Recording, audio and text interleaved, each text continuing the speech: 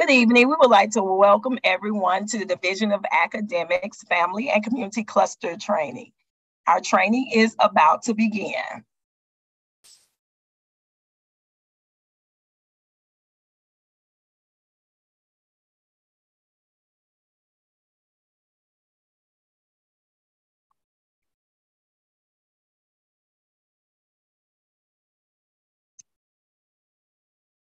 Good evening, parents, and everyone that has joined us this evening.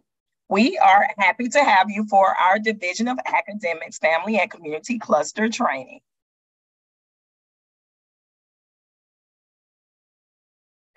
We always like to begin with our meeting norms, and as you can see, they are displayed on the screen. We always expect for everyone that is a part of our time together to be polite and respectful to others always ask questions in the chat and we will monitor the chat so that we can get your questions answered. Be sure to stay focused on the topics at hand and always be patient and assume that everyone is doing their best. Our agenda is as follows. We've already began with our welcome. My name is Yolanda Weeks. I serve as the Executive Director of Curriculum and Instruction.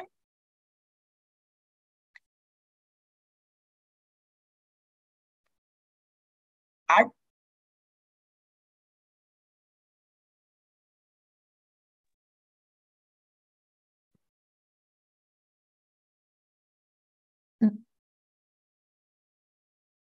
So our agenda is as follows. We are going to go over our APS map and our BASC3 best data. Then we'll go through our telehealth services, which speaks about physical and mental health as well as APS personalized learning focus, our APS map vision for teaching and learning, and then we'll have time for question and answers.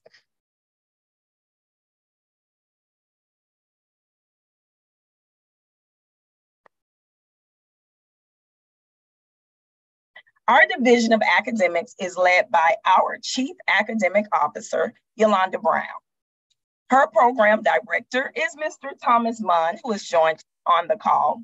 She has an administrative manager, Miss Beatrice Jones, as well as a front desk administrative assistant, the wonderful Miss Tracy Carroll.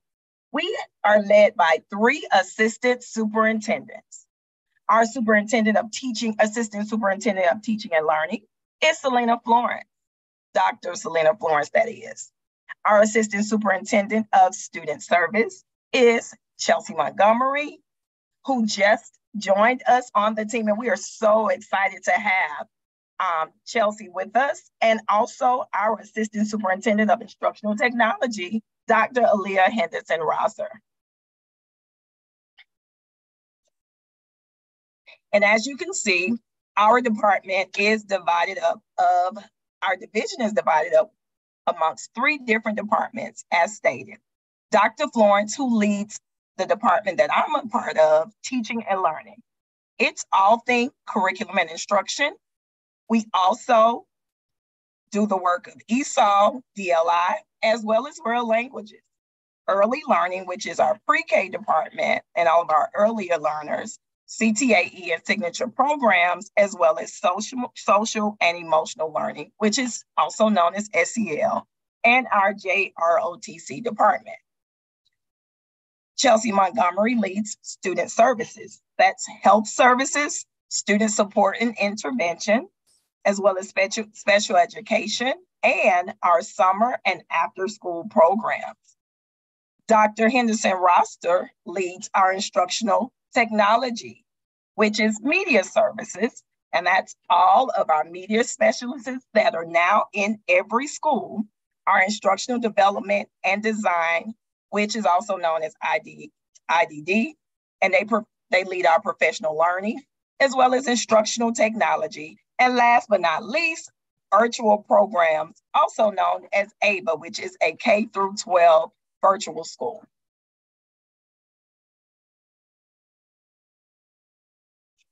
Our strategic plan, this serves as the anchor for our work and provides specific goals for our district around literacy, math, college and career readiness, and post-graduation preparedness. And so I have began our talk. And one thing that we do, all of what we do is governed by our APS 5. And I'm sure you've heard it before. The five are data, curriculum and instruction, whole child and intervention, as well as personalized learning. And last but not least, signature programs. That's our IB as well as our STEM and or STEM schools. At this point, I am going to bring on Dr. Monique O'Brien so that she could talk about NWEA MAP. Thank you and good afternoon, parents and community members. In school year 2021-2022, APS began administering the NWEA MAP assessment to help us monitor our progress towards improving student literacy and numeracy proficiency. The MAP reading and math assessments allow us to estimate how well elementary and middle school students will perform on the Georgia Milestones, English language arts, and math assessments. MAP accurate, accurately classify students into the correct proficiency categories 82 to 84% of the time for ELA and 84 to 87% of the time for math. From looking at our data, approximately 31% of students in grades 3 to 8 performed at a proficiency level of proficient or distinguished in the spring 2022 Georgia Milestones ELA assessment. This can be seen by looking at the two green colored rectangles. This is comparable to 34% of students on the spring MAP reading assessment who scored at the proficiency or distinguished levels. Similarly, 26% of students in grades 3 to 8 performed at a proficiency level of proficient or distinguished on the spring 2022 Georgia Milestones math assessment compared to 25% of students on the spring MAP math assessment. During the month of August, we administered the MAP assessment to students in grades pre-K through 12th grade. We are currently in our second year of administering the MAP assessment, which allows us to compare student growth from fall 2021 to fall 2022 for students enrolled in APS during both test windows. Approximately 59% of students in the district are showing average to high growth in reading from fall 2021 to fall 2022 when compared to students across the nation. Our cluster level data is showing similar patterns in students' growth this means we are headed in the right direction with growing our students academically in reading. An additional perk of the MAP assessment is that it allows the district to use the fall MAP reading results to estimate spring ELA milestone performance for students in grades second to eighth. While the best estimate of spring ELA milestone performance is the spring map assessment. The fall map assessment estimates estimate allows us to gauge whether we are headed in the right direction. Fall 2022 map results indicate that the district and clusters are reducing the percentage of students performing in the beginning level compared to fall of last school year. Additionally, the percentage of students performing at the proficient or distinguished levels halves increased from fall of last year to fall of this year.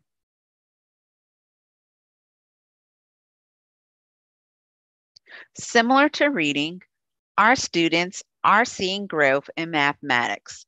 Approximately 65% of students in the district are showing average to high growth in mathematics from fall 2021 to fall 2022 when compared to students across the nation. Our cluster level data is showing similar patterns in students' growth in mathematics. This speaks to our strategy to support our students in mathematics.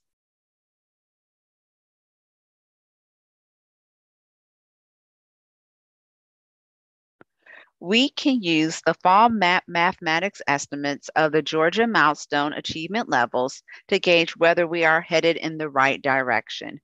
Fall 2022 MAP results indicate that the district and cluster level, we are reducing the percentage of students performing at the beginning level in mathematics compared to fall of last school year.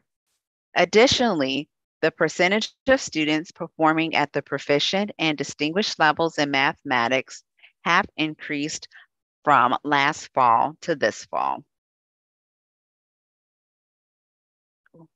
Before I hand it over to Dr. Hervey to discuss the BAS 3 assessment, I just wanted to take a moment to answer one of the questions that was in the chat. The question is, is MAP data by school available for Spanish for DLI students who took the Spanish portions? The answer to that question is yes.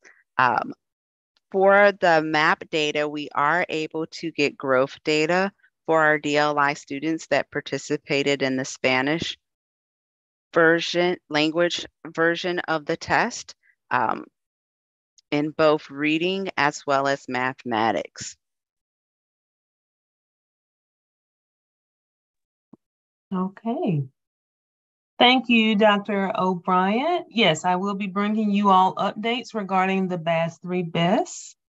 Next slide. As part of the Whole Child Framework, the district secured its first ever universal social emotional behavior screener last school year, which is the BAS 3 BEST. The BEST screens for a variety of behavior and emotional disorders that can lead to adjustment problems. This tool is a quick and efficient way to obtain screener data for students ages 3 to 18 for behavior and emotional risks. Next slide.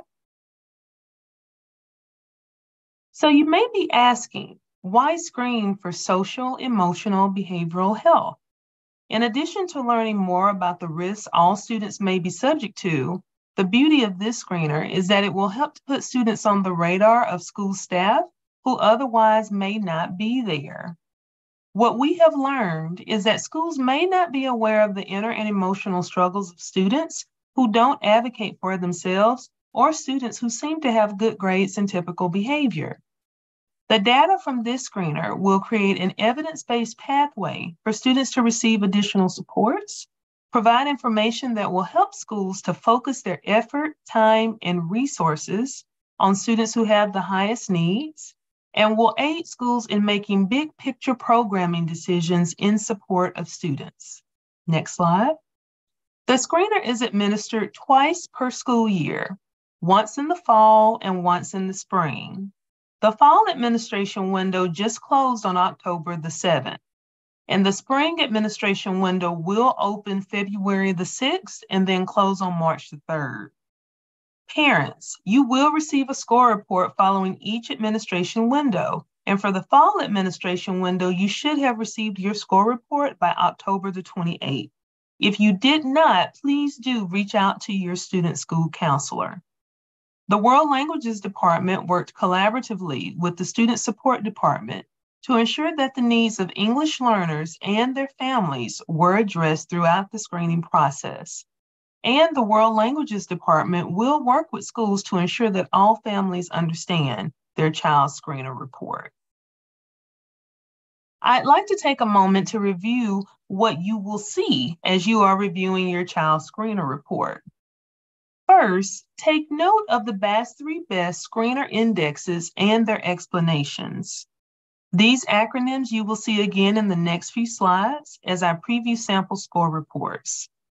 The screener will produce student data that is measured in risk. Teacher and parent forms will reveal whether a student is at risk for developing externalizing behaviors, such as hyperactivity or aggression, internalizing behaviors such as anxiety or depression, or adaptive skills deficits, or problems with communication or social skills. Student forms will reveal whether a student is at risk for developing internalizing behaviors, again, such as anxiety or depression, self regulation deficits, such as hyperactivity or attention problems, or personal adjustment deficits, such as relationship problems, self esteem challenges, or self reliance issues. Students are given an overall score, which is the BERIT score, that indicates how far their score is from the average of the norm group. The color coding helps to give you a glance at how risk is measured as normal risk, elevated risk, or extremely elevated risk. Next slide.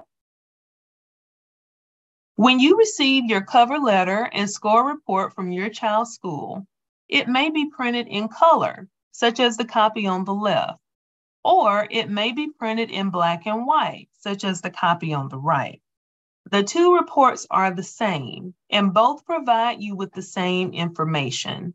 I want to point out that even if you receive the black and white copy of the report, if you take note of the words next to the gray dot, then you will see whether the indexes were determined to be normal, elevated, or extremely elevated for risk. I want you to have an opportunity to view an example of what a screener report could tell you for each student.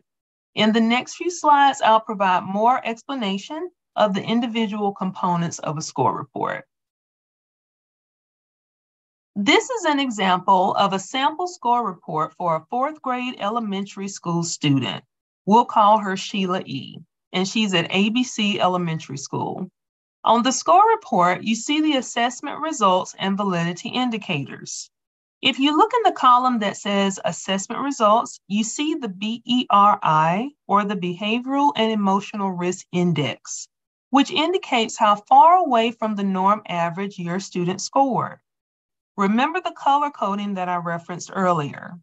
The green dot and wording next to the BERI tells us that this student has scored as normal risk, which does not indicate a need for support or follow up at this time. The validity indicators provide an explanation of the extent to which this particular score report may be considered valid and that you can trust the outcome of the report. Validity index indicators will show as green for acceptable, yellow for caution, or red for extreme caution. The F index will let you know how harsh or overly negative the rater was in their responses. The consistency index will let you know if there were different conflicting responses provided to questions that are similar. The response pattern index lets you know if a pattern was detected that may indicate that the rater selected answers randomly or in a pattern. Here you see that the F index, consistency index, and response pattern index is acceptable, which means that you can trust the outcome of this report. Next slide. Part of the score report that you receive will contain the actual student responses to the questions asked and the frequency to which these items occur, that being never, sometimes, often, or always. This student acknowledges that she sometimes has trouble sitting still, sometimes feels like her life is getting worse and worse, and sometimes feels that no one understands her. This student also acknowledges that school feels good to her always. Others have respect for her always, and her parents like to be with her always. Reviewing the individual questions can provide you as a parent with more information to better understand how your student may currently interpret their day to day environment. However, remember that the BERI of this score report was normal risk, which means that the responses this student shared are comparable to the average norm of other students that have taken this screener. Next slide.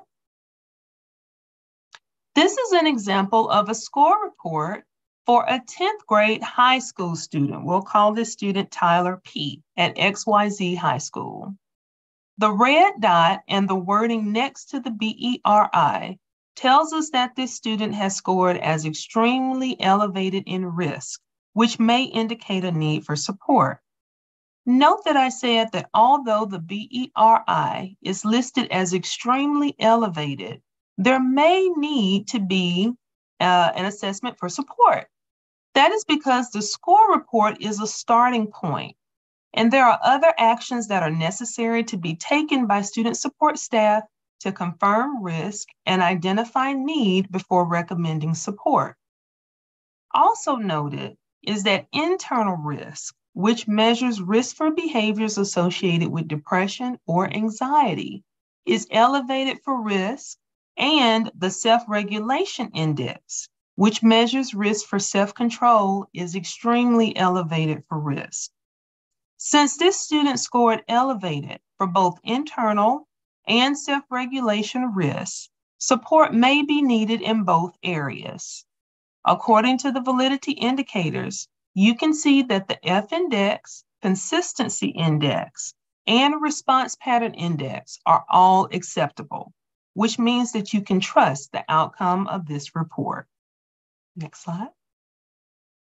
The second part of this student score report provides you as parent and school staff with more information on where additional support may be indicated.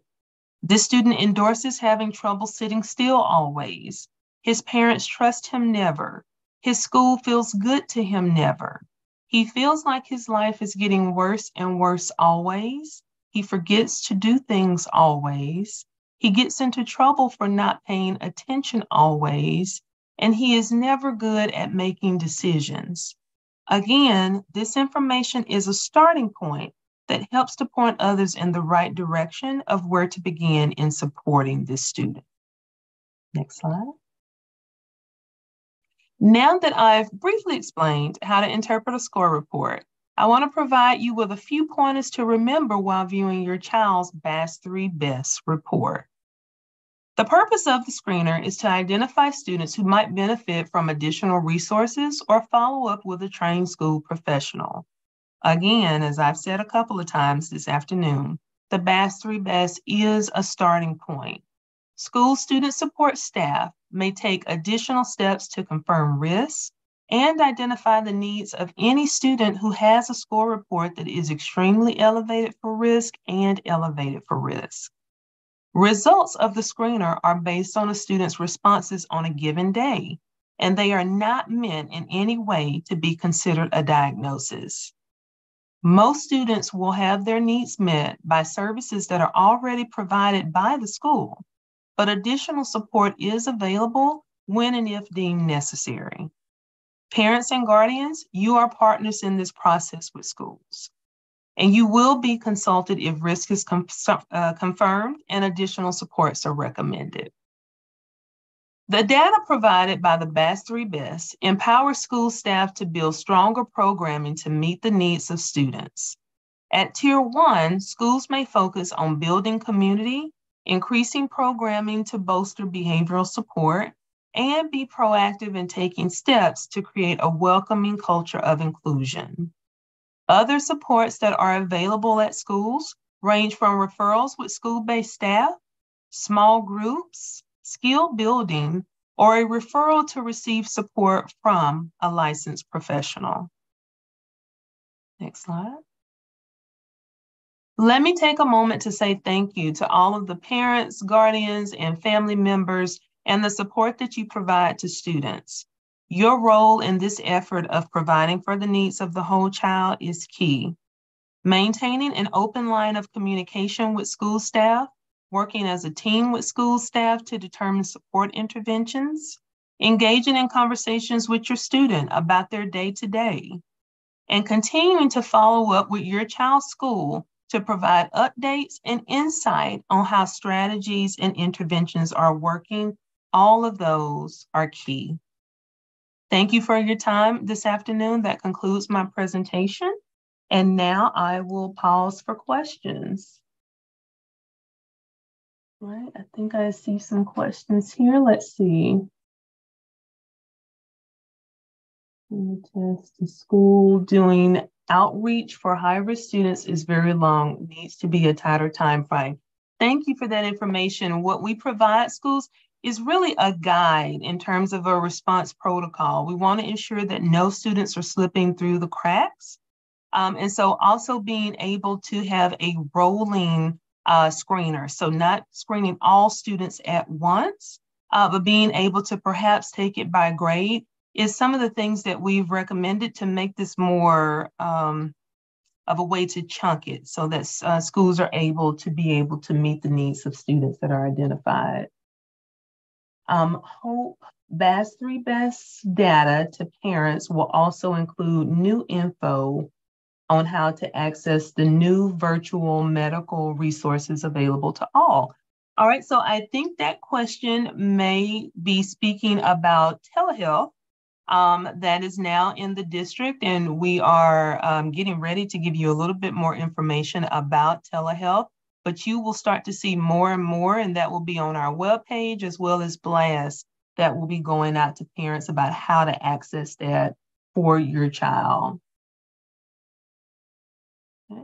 All right, and then um, Ms. Angel asks, is the BAS 3 for elementary through high school? And so students can begin to take the BAS 3 BEST when they are in the third grade or eight years old through the 12th grade or 18 years old. And so that is a student actually providing their own screener information. Um, teachers can, however, as well as parents, provide screener information for students beginning in kindergarten through 12th grade, and parents, you can provide screener information beginning in pre K through the 12th grade. Okay. Uh, would be very helpful if BAS3 data over the third through 12th journey of the child was available through Infinite Campus so you can see changes over time. Thank you for that. I will certainly take note of that and this is still something that's very new in the district, and we're always thinking of ways that we might be able to uh, close the gaps in terms of communication between home and school. So I appreciate that. All right, I do not see any additional questions, and so we will move on to our next section, um, which will be telehealth services, both for physical and mental health. Again, I'm Shannon Hervey. I'm the Director of Student Support. Um, and also uh, within this presentation, Dr. Hildreth will be co-presenting. Next slide.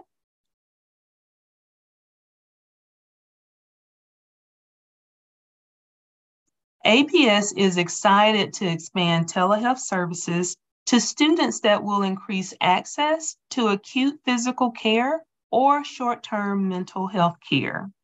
School based telehealth programs are a comprehensive approach to increasing children's access to health care and close the gaps in care resulting from the COVID 19 pandemic, such as mental health and other chronic conditions. Next slide.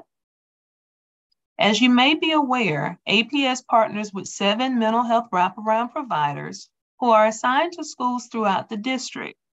During school year 22, we learned that our providers were faced with numerous challenges, including lack of funding, insurance challenges, guardian noncompliance, and provider shortages, which impeded their ability to provide support to our students.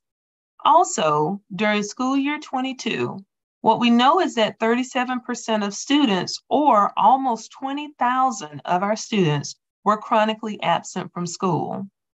Additionally, results of the BAS 3 BEST indicated that 25% of APS students were elevated or extremely elevated for risk of developing an emotional or behavior disorder. These data points are both relevant because, according to research, Health related issues are a top reason why children miss days of school. Now I'll pass it along to Dr. Hildreth. She's going to bring data relative to physical health. Good afternoon, good evening. So as we look at the physical health information and data that we collected currently for our telehealth services, um, prior to us expanding to our other locations, we had two telehealth locations located at Fickett and Finch Elementary School. And those telehealth services were provided by our existing partnership with Children's Healthcare of Atlanta. So when we looked at our chronic conditions and our students with chronic conditions, we were able to find um, information um, from those that reported, and that information was the 1,293 APS students it identified with at least one chronic condition. And for the school year 2022, we also observed that 25,300 APS students were sent home by an RN or an LPN at their school. So this information was very key in us looking at the need for expansion as well as, of course, hearing from our student voice. So for school year 2023, with our APS whole child interventions um, and, and initiatives, we include the following. So we, of course, want to expand our existing telehealth services beyond the two schools, um, and we have done that. And of course, to provide telehealth services to students on demand, not just for the physical component, but for the mental health services as well. And then we also want to make telehealth available for students, not just at school, but at home, so they can have those resources beyond the school setting and access it when they're at home if, if they're not feeling well and need access to mental or physical health services. So when we look at the who, what, when, where, and why, we look at the services. Of course, Hazel Health is a provider for K through 12. They provide um, quality mental and physical health services to meet the mental and physical health needs of our students. And the what? High quality doctor visits, therapy sessions for our students. The physical health services are provided by Hazel doctors, nurse practitioners, and physician's assistants. The mental health components are provided by locally licensed, culturally competent therapists that specialize in addressing the needs of our students and our children and adolescents. So when is this available? Well, we we already implemented this service. So during the hours of 7A to 7P Eastern Standard Time, students can access telehealth support at their home or in their school. And where are we rolling this out? We have rolled out phase one. Um, and we're rolling it out phase one. Uh, it was rolled out effective October the 31st, 2022. And those clusters were Therrell, Therrell, Douglas, North Atlanta, South Atlanta, and Jackson. And our phase two clusters will roll out November the 28th, 2022. And the phase two clusters are Midtown, Carver, Mays, Washington, and also our non-traditional sites. So why are we doing this? We're doing this to increase student access to services and the supports that they need to be well. And we also want to remove those barriers that may present um, for quality physical health and mental health support for all of our students. So what do we need to do next? Well, consenting. We cannot provide we cannot deliver. We can provide, but we cannot deliver services to any of our students without consenting to telehealth services. So we have a consent form that's available, as you see on the website. Um, on, the, um, on the slide, we have a website, and if you visit the website, is https colon forward slash forward slash my.hazel.co forward slash Atlanta Public Schools. And that's what you will need to do to sign, click sign up now, and then fill out the consent form. And then once you send out the consent form, you will finish creating an account by entering your phone number, and a six digit code will be sent to you via text. And you should use that to fill the information for your student, complete that information. And on the screen, you'll see what that you'll see a screenshot of what the information that they are requesting when you complete that link. So Hazel Health at Home, we also have that website um, available. The link is https colon forward slash forward slash my.hazel.co forward slash patient. We launched this October the 24th. It is available to our students um, Monday through Friday from 7A to 7P. And also here's a screenshot of what that link looks like when you complete that information and you access this link. So that will complete our telehealth, physical as well as mental health presentation. If you have any questions, we can look through the chat and we'll address those at this time.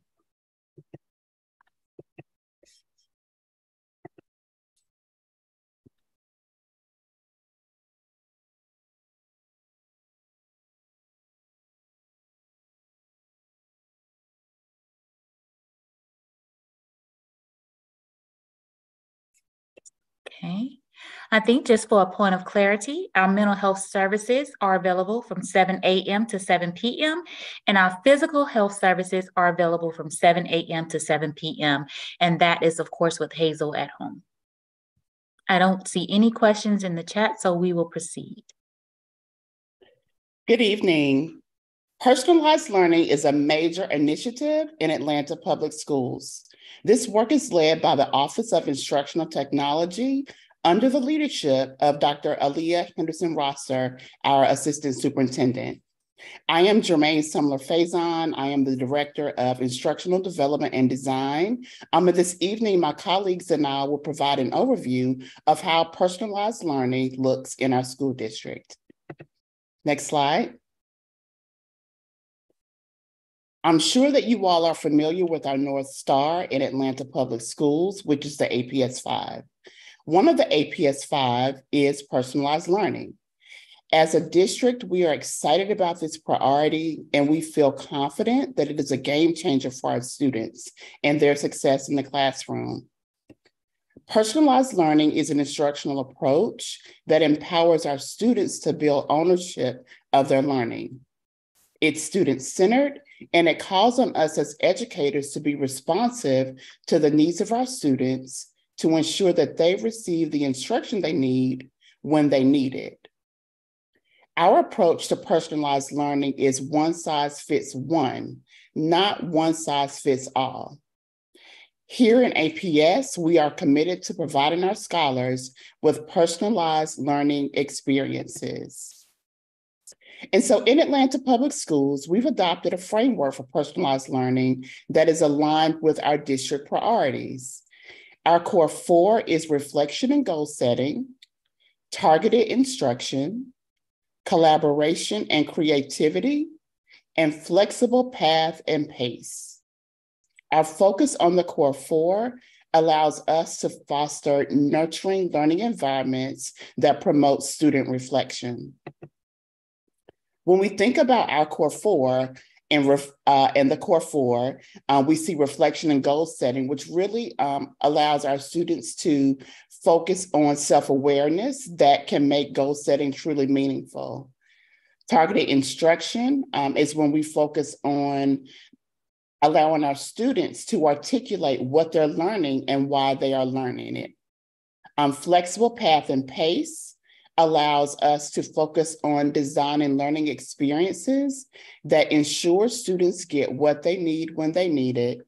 And then collaboration and creativity discusses, allows students and creates a space for our students to discuss ideas, to make meaning, to problem solve um, around important issues that's relative to their schools and their community. Next slide. Next slide. In our school district, we are 100% committed to ensuring that personalized learning is evident in all of our schools over the next three years. Next slide. On the next slide, you'll see that our Wave 1 schools joined us during the 21 22 school year. So we're excited about our Wave 1 schools. Next slide.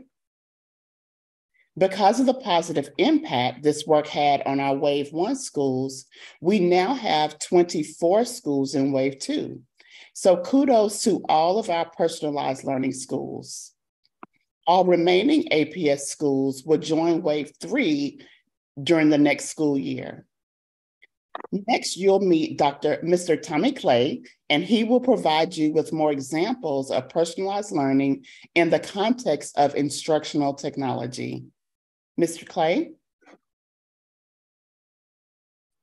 Hello, my name is Tommy Clay. I'm the digital learning specialist in instructional technology. Uh, next slide. So collaboration and creativity is a key part of personalized learning. It allows students to engage with one another, share ideas, create new solutions and projects. And one key aspect of that is having flexible tools that allow them to do that. Uh, next slide. So, what does collaboration and why does collaboration and creativity matter? Well, several reasons. It helps students become independent thinkers. It encourages students to work with one another and share their ideas, to become creators and producers of their knowledge through creating um, creative solutions for projects. And they provide, students provide one another with feedback, and then they can share with an authentic global audience. Um, so, how do they access these resources? Students access these resources through our one stop shop, My Backpack. All of the apps are located in My Backpack that allow students to engage in personalized learning. So, we have tons of collaboration and creativity tools from Google Drawings to Zoom to Teams to Minecraft EDU and Wakelet, as, as well as tools that allow for reflection and goal setting as examples include Adobe Express and Canva Again, all of these tools are available in my backpack, and your students have access to it not only on their APS issued devices, but they can access these tools on their personal devices at home. And again, some of those tools for instructional tools and resources include Discovery Ed, Kahoot, and then we also have Paper Tutoring, which is phenomenal, which is a tutoring, free tutoring website that allows your child to have access to a tutor 24 hours a day. We have tools for flexible path and pace that include Nearpod, Pear Deck, and Quizizz. And again, that URL at the bottom is how students access my backpack, and it is their one-stop shop. And that's, oh, you can go to the next slide so Paper is our new tremendous tutor platform. All APS students have access to Paper. It's free of charge. It's available 24 7. It's available on weekends, after school, during breaks. And it's accessible through my backpack. And then they can have an opportunity to live chat with certified tutors. And it's available for all content areas. Students commit, submit papers for review and get access to tutors in just about any subject available, including Spanish, US history, literature, US um, uh, math, and it's available to elementary, middle, and high school students. Um, also, there's a college essay support as well for those students, those seniors and juniors looking for college essay support. We can move to the next slide.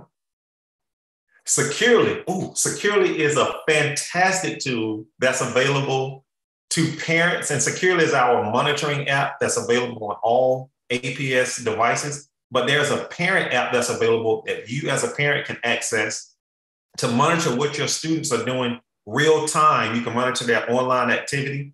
You can flag activities listed for self harm.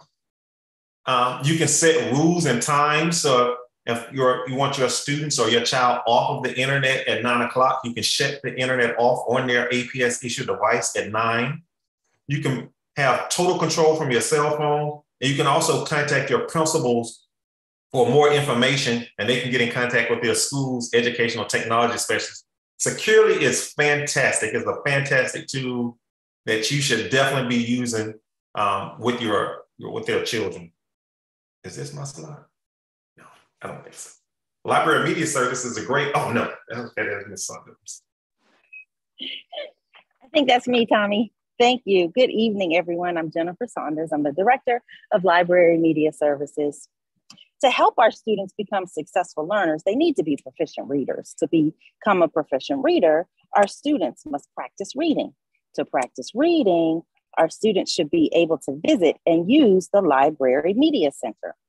In APS, every school has a certified school library media specialist in our Library Media Center who helps our students learn about their personal reading habits and sets goals for their reading.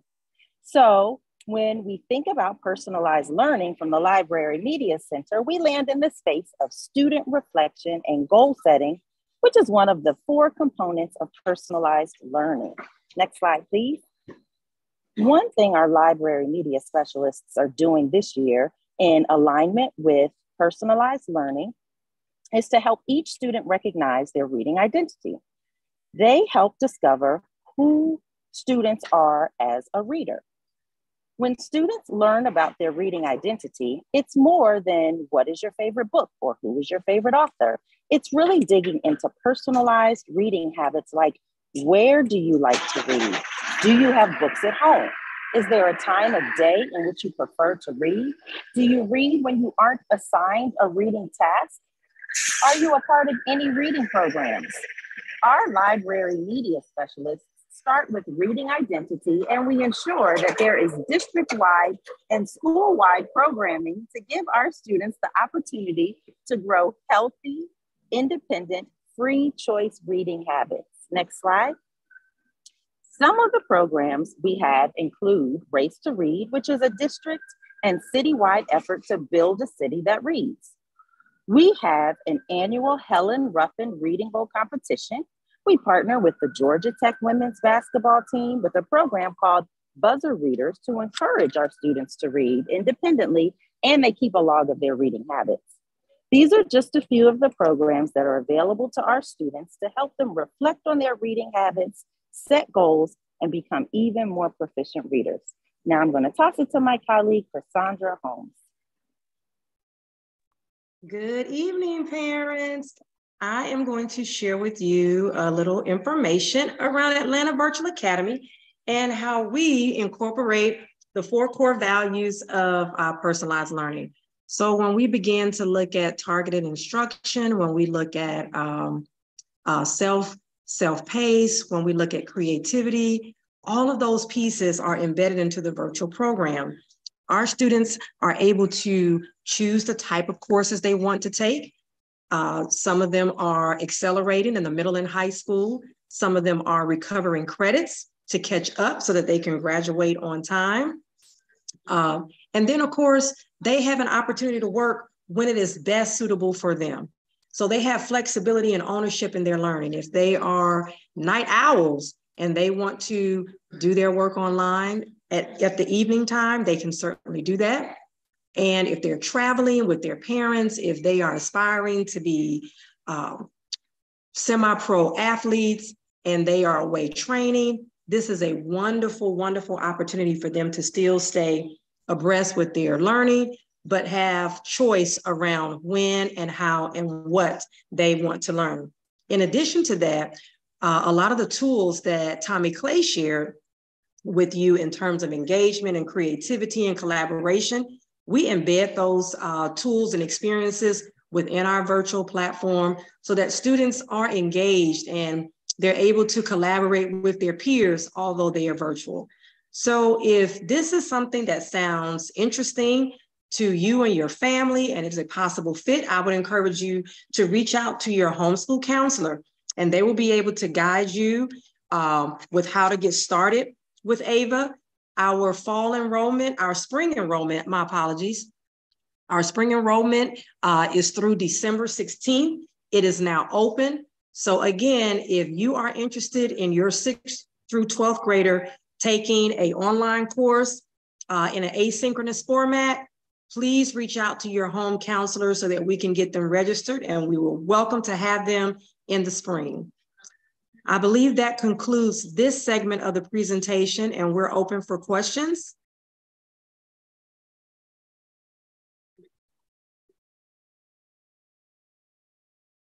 Okay, I don't think we have questions. Thank you.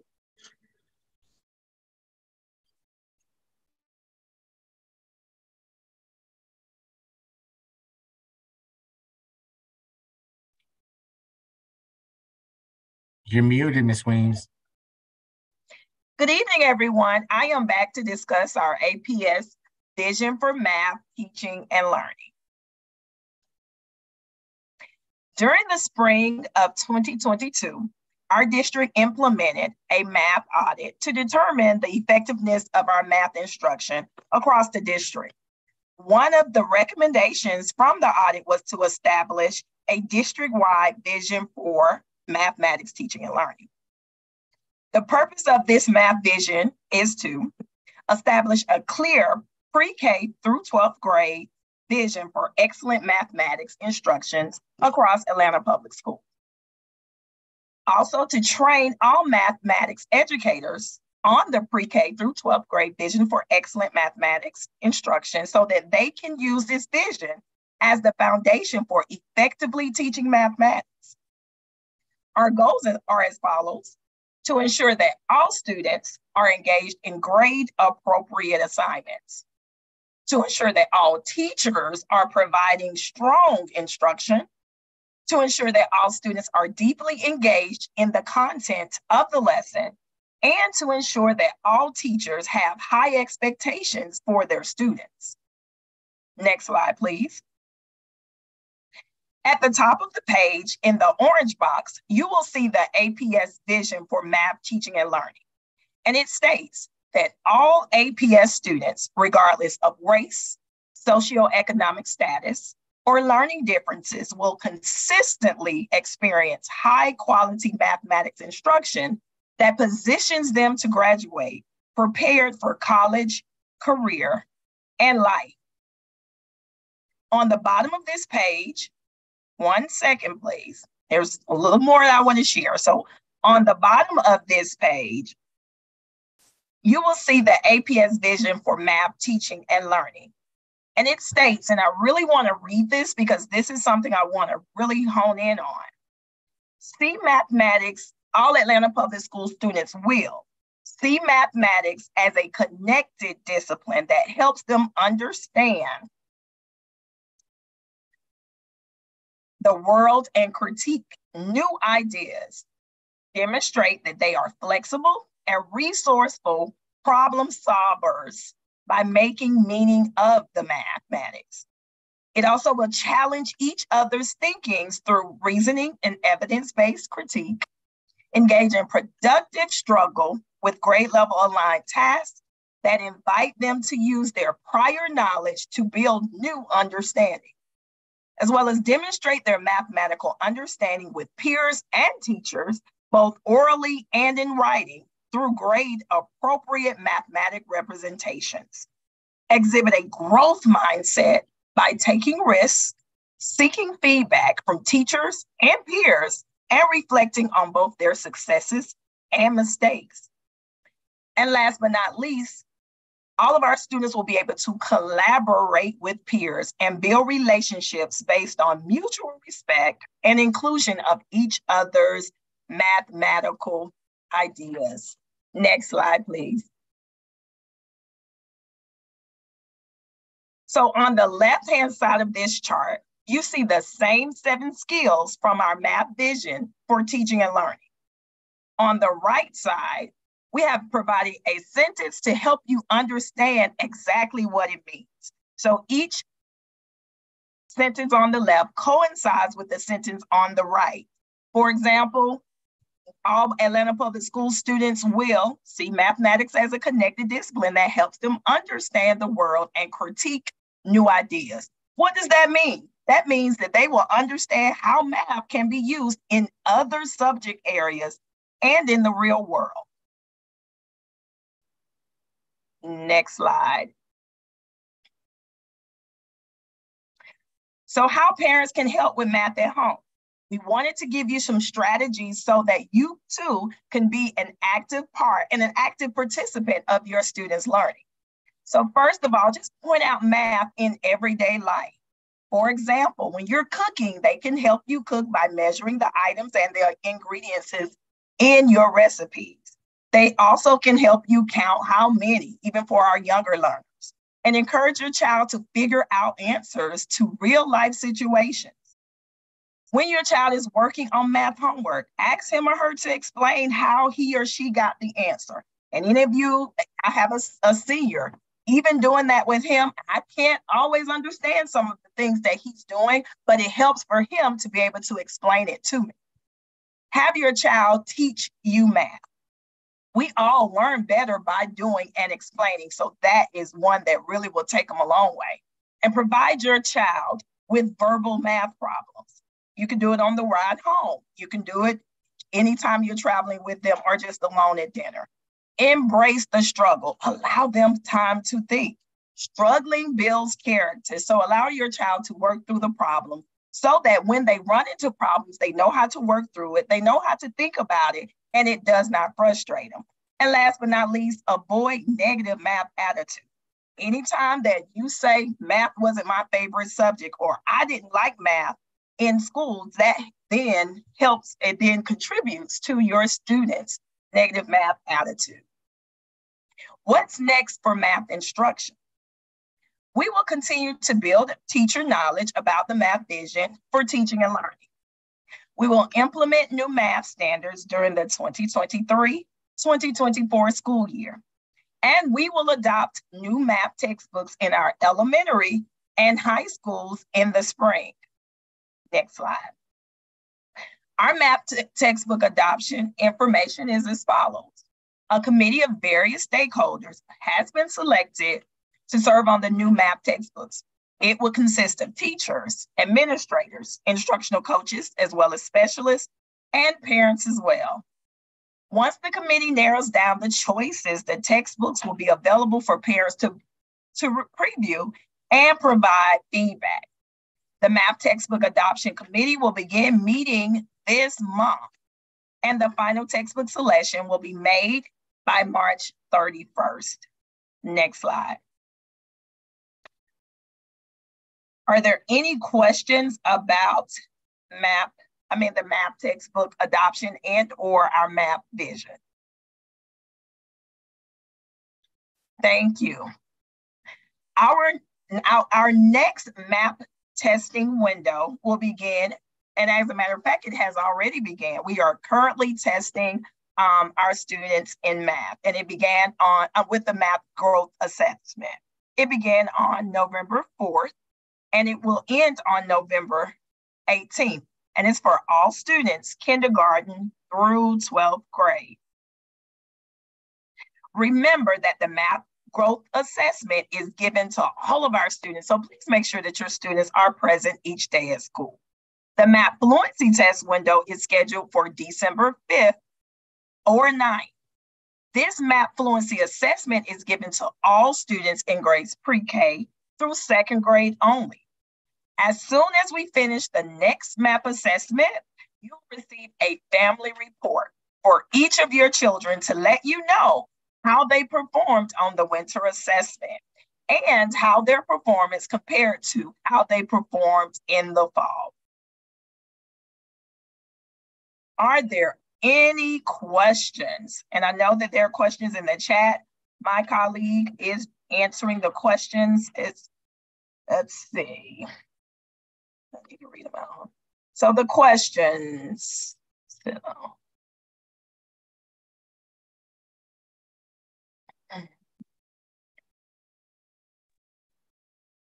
Ms. Williams, I answered the question in the Zoom and the YouTube chat, so I think we're good. Okay, thank you, Tom. I appreciate your help. Well, thank you, Ms. Williams. And this You're concludes our, our parent um, training for this evening. Thank you so much for your participation on behalf of our Chief Academic Officer, Yolanda Brown, and the whole Division of Academics. Thank you for joining us, and we'll see you soon.